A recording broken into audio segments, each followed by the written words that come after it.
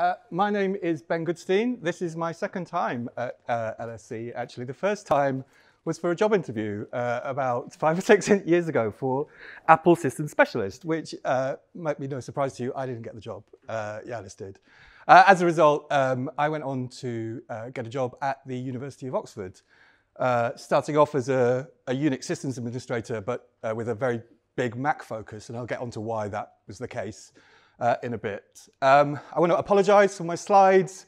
Unlike Yanis's, they're not super polished. I just came back from uh, a conference in Vancouver, and I've been battling jet lag and the arrival of two new cats that I've adopted as well. So it's been all go uh, in the Goodstein household. Uh, I'm now the technical leader. I've also uh, changed roles. Uh, I'm now the technical leader for all things Apple uh, IT services um, at, at the University of Oxford. Uh, which might sound very grand, but as you'll see, I'm actually a very small cog in a very big uh, uh, load of wheels. Okay, so uh, first I'm going to talk to you about Oxford. Uh, I don't know that a lot of this will be relevant to your institutions because Oxford is a very, very uh, unique beast. You can't be very unique, but it's unique, extremely unique. It's made up of 38 colleges and six permanent private halls. Permanent private halls are just theology institutions where they, they learn ministry and theology, um, all of which you can see here. And uh, they, uh, we have 24,000 students, uh, quite a lot, about 50-50 split, uh, undergraduate and postgraduate, uh, and 14,000 staff. And that is just what is employed by the university. That doesn't include people who are wholly employed by the colleges. Now, the colleges and the PPH are completely independent institutions who band together under the, the umbrella of the University of Oxford to deliver education. But they have their own budgets, uh, they have their own vast foundations a lot of the time. I think uh, St John's College has about uh, an endowment of 400 million uh, that it sits on. Um, and they own most of the city as well. They, they in fact own the street that I work on and once a year they plop down a fun fair in the middle of the street just to demonstrate how much they own it and close, close off the whole street. So they're very powerful, um, they are very independent, fiercely independent. Um, and we also have around 100 academic departments that I'm not going to list up there because that would be uh, interminable. Uh, but they are divided into four divisions. So you've got the mathematical, physical and life sciences, humanities, medical sciences, and social sciences. And then you have the university's administration services, uh, of which I am a tiny part over here, IT services.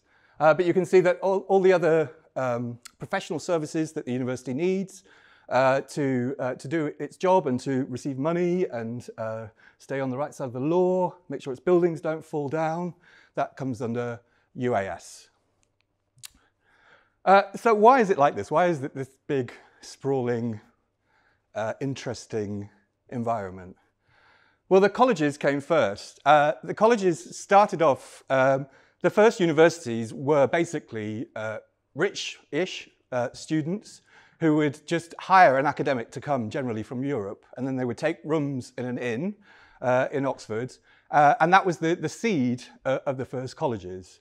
Um, so they were quite, um, uh, you know, they, they weren't very formal institutions at first. Um, but as time went on, they received a lot of sponsorship and money from the church and became very rich in the process um, which didn't make the people of Oxford very happy, um, which in a sense is why the university exists. Uh, we have this thing called town versus gown, which is now used to um, describe football matches between Oxford uh, and the university. Uh, but back in the day, it was a lot more serious than that. Uh, this is the St. Scholastica's Day riot in 1354. Uh, basically, two, two students went to a pub in Oxford and decided they didn't like the wine. Uh, and they told the landlord that. And he was like, well, start off, my, my wine's amazing. and so they threw it at his, at his head. And what ensued was a pitch battle between the burghers of the town and the, the students of the university that in the end left, I think it was 30 dead for townspeople and 60 dead from, from the students of the university. Uh, the king at the time, I think it was Edward III, found in favour of the university uh, and the town has had to apologize, well, had to apologize every year by walking uh, bareheaded through the, the mayor had to take his hat off and walk bareheaded through the city until 1955 when they finally buried the hatchet and gave him an honorary degree. Uh, so you can see that there's, um, the, there was a need for a body, a governing body, to kind of stop this thing from happening. Uh, and then the university was probably established around the, there's, there's no fixed dates on this, nobody really knows. Uh, you can see vice chancellors popping up in the 13th century, but it was kind of established uh, around this time uh, in response to these fights. And actually, an earlier fight led to a load of people going off and form, uh, forming the University of Cambridge. And they went to Cambridge to buy the entire city so that no one could argue with them. Uh, so uh, it's funny because Cambridge has a lot of similarities uh, with Oxford as a result. And when I talk at conferences and, and people overhear me talking, uh, most people go, that's mad. Why do you do things like that? The only people who come up to me and say, oh God, yes, we understand completely are the University of Cambridge or uh, uh, other collegiate universities. Um, but then we're going to wind forward about seven, eight hundred years. Um, and this, this history and this, um, uh, the interplay between the colleges and the university as a whole um, presents itself to us in IT services uh, in a range of problematic uh, scenarios. So, for one thing, there's a lot of tradition there uh, in the colleges, uh, especially. Uh, in the departments too. Uh, probably wondering why there is a mallard there. Uh, there is one of the colleges, All Souls College, every 100 years they sing a song and they parade a mallard around on a stick, a wooden mallard, and it's something to do with something that happened when the, univers- the, the, when the foundations were built for the college, a mallard flew out, and so every 100 years they've been doing this. Um, and actually, there are, there's two colleges where the masters can see into each other's dining rooms. And since I think about the 16th century, they've had their chairs facing the other way because they had a falling out. Uh, and that's, they, they still have beef. Uh, they still don't look at each other. There's so much IT support. Um, we talked about shadow IT, but this isn't really shadow IT. This is legitimate IT support uh, in the university. Every single college has its own IT department. Every single division has its own IT department. Uh, pretty much every single uh, academic uh, institution department has its own IT support uh, department too. Um, and we bring them together uh, under the auspices of uh, what we call ITS3, which is IT Support Staff Services, which is a, a, kind of a collaboration between IT services centrally and IT services out in the, the wider collegiate university. Um, and the, the, colleges are used to being autonomous. Like I say, they're, they're really rich. Um, and uh, the departments as well are full of academics who think that uh, uh administrators shouldn't exist. Uh, so there is uh, a lot of tension there around uh, us taking away their autonomy and their, their ability to make their own decisions by imposing services from, from a central point. And the university is a place of learning, and I think this is important for a lot of us in education. Uh, we, we came into these jobs uh, because we wanted to be exposed to new technologies um, and to do stuff in, a, in an academic environment. Um, and you don't want to take that away. Who are we to take that away from these, these IT support staff? uh, out in the, uh, the wider university. That, this, this may be why they were attracted to the position in the first place. And if we then say, oh, uh, we're going to give you the tools, but you can't touch anything, we, we own everything, uh, they're going to be disenfranchised by that.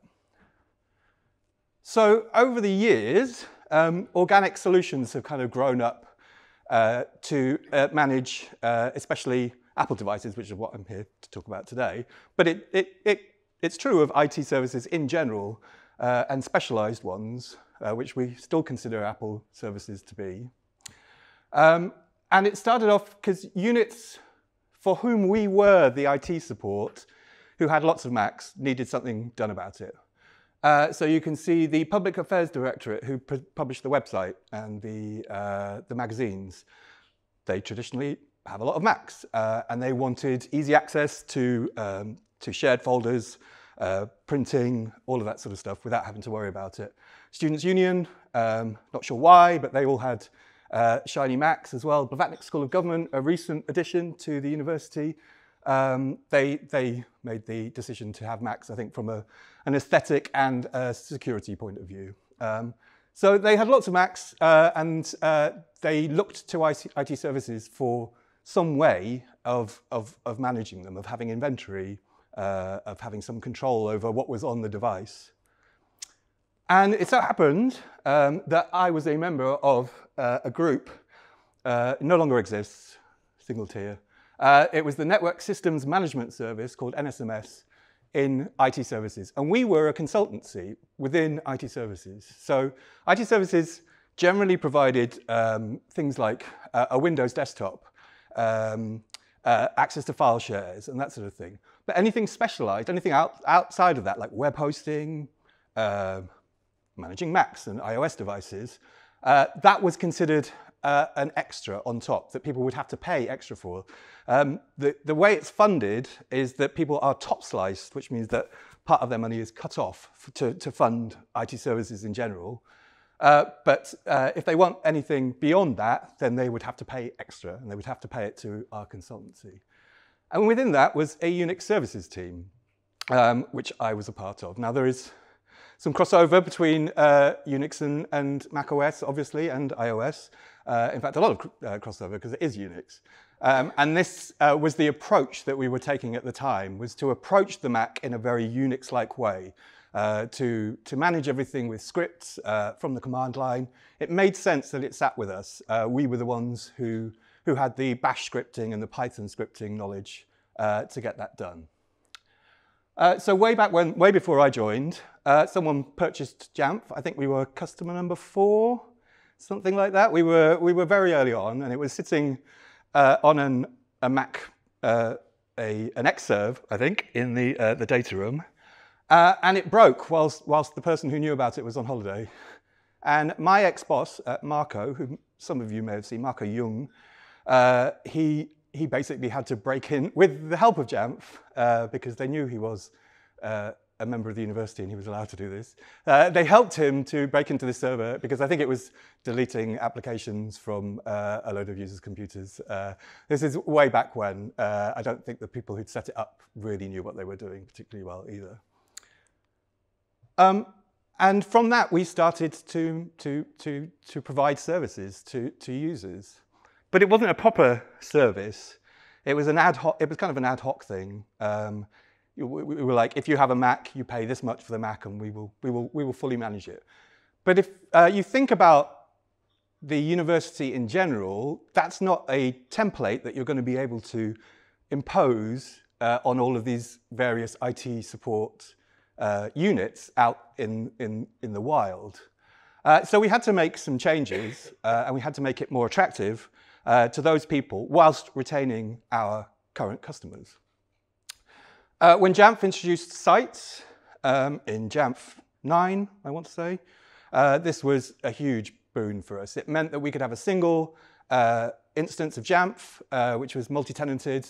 Uh, all of these units could have their own site within Jamf that they could have management over if they wished, or we would manage it for them if they were fully managed. Uh, and it, it, meant that uh, that devolved nature of the, the, university could be reflected in the software that we were using. Uh, we also adopted a Debian-like philosophy. So for those of you that don't know, Debian is a free uh, Linux distribution. Uh, we were all using it for our backend, for our infrastructure. Uh, and they use three streams of software.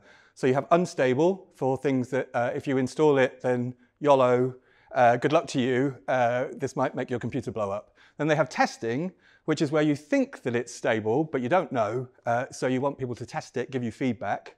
Um, and then you have stable, which has gone through that testing process, and if no, nothing has been reported back to you, then you assume it is stable.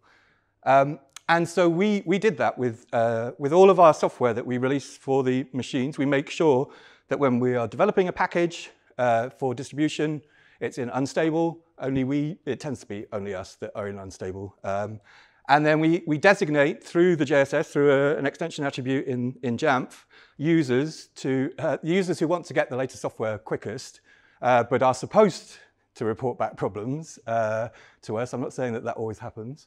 Uh, but they go into testing, and then the majority of people are in the stable distribution. And we, uh, we, we automatically stage software through those three uh, different streams. We didn't used to, we used to do it all by hand.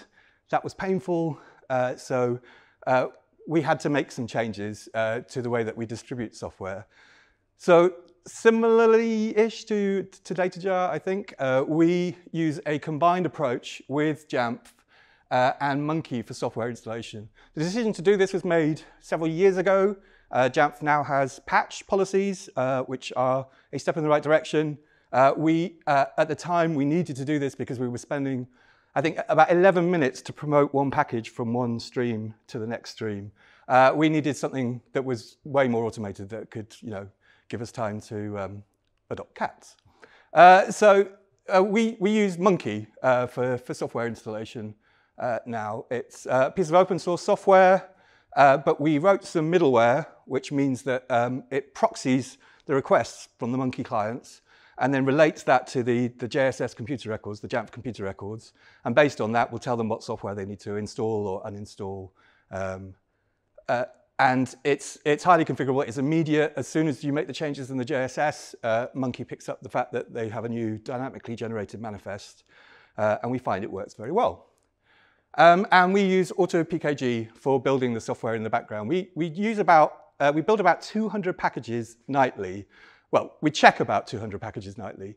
Uh, there's a huge array of different types of um, uh, departments using uh, our systems. So we have like all sorts of computer science software, all sorts of chemistry software, all sorts of statistics software.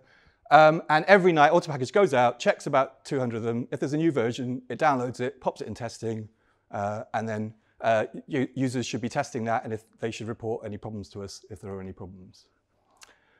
And we had to adopt a, security first model. And that, this is at the heart of, of, of, what we do. In fact, Marco, my previous boss, has moved on to be uh, very important in InfoSec at uh, the university. Uh, we don't like uh, imposing things on users uh, just because a long time ago someone said no. we don't think that that's okay. we, we want to make them secure, um, so we want them to have the latest versions. We force security updates on them, um, but we try not to restrict uh, beyond uh, the, some simple things uh, that, that, will actually add to the user's security when they're using the computer. We've heard about like light touch policies. We, we adopt a reasonably light touch uh, policy. We want the experience to be as Apple-like uh, as possible for the users, but uh, you know, there's a lot of important IP out there on uh, university computers. Security is kind of paramount to our, uh, our ethos. Uh, and we also had to develop two streams of support. Uh, so fully managed is like the old model, uh, where we do all three lines of support. We have um, a help desk, we do the desk side support, and we do the infrastructure behind it all.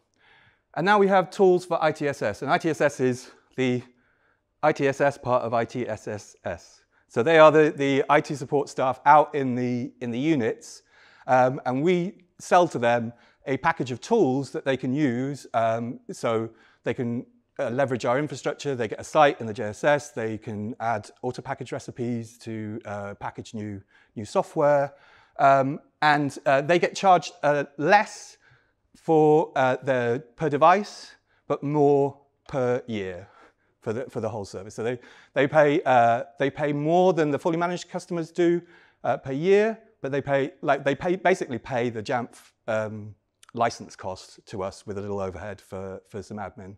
Um, whereas in the fully managed uh, product, the, the costs per device are a lot higher. Um, and this is just a slide that, um, that shows the, the way that it works. So if they are in the fully managed, they hit our service desk, our internal IT services service desk first.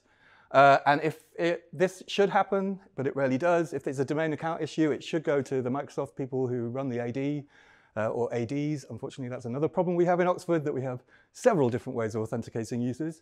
Um, so they are supposed to, if they, can't log in, it's supposed to go to them, but invariably it goes to us anyway, but uh, that's a talk for another day. Um, and uh, if they cannot deal with it, it gets escalated to, uh, to us and we will escalate it to other teams if we feel like it needs to go there.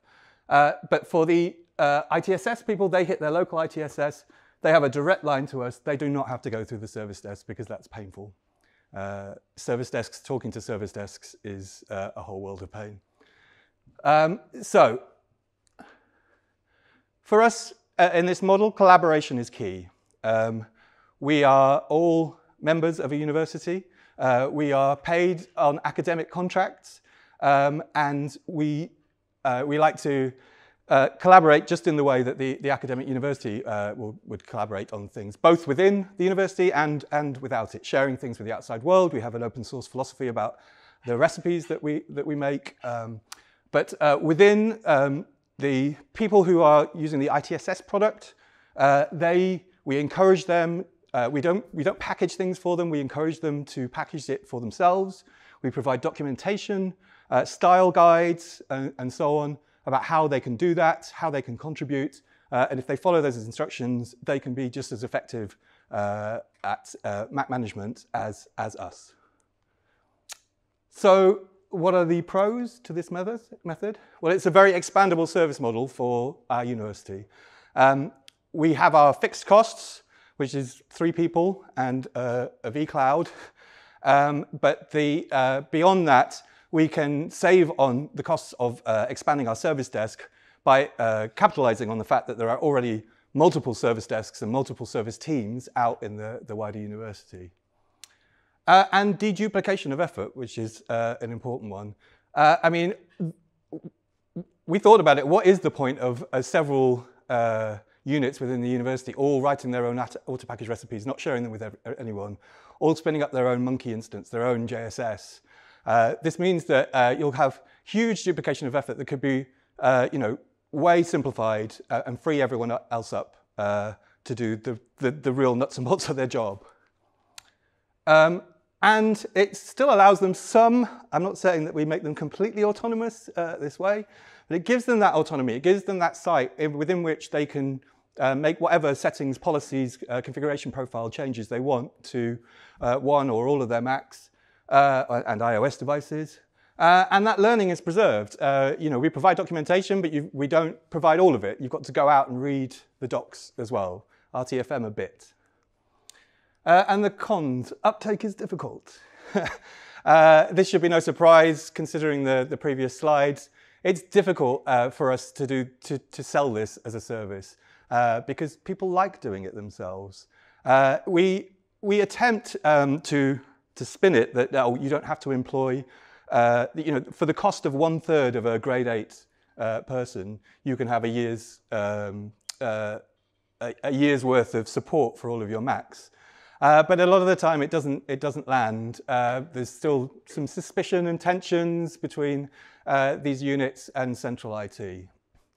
And unfortunately, enforcement is impossible. Even though InfoSec is a really important uh, tool for um, uh, encouraging uh, departments to, to see that their devices should be managed, uh, unfortunately, they can only really advise. They respond to, at, at Oxford, they respond to security in, uh, incidents and they do have govern, governance and policy, but it's, it's really advice rather than uh, enforcement. Um, they have a, uh, a, set of guidelines that we follow.